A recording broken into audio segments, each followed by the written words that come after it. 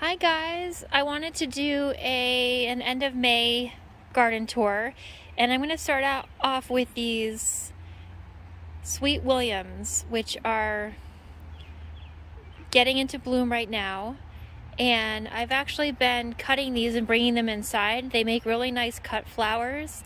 They have a very slight clove scent to them and they took two years to bloom for the first time and then over the winter, the um, greenery kind of stayed there, and then I got flowers again this year. So um, it is supposed to be a biennial, but it um,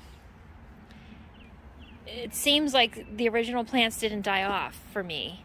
Um, but anyway, these flower um, variations are really nice, just the pinks and reds and whites and I'm going to be cutting some of these and selling them at a farm down the street.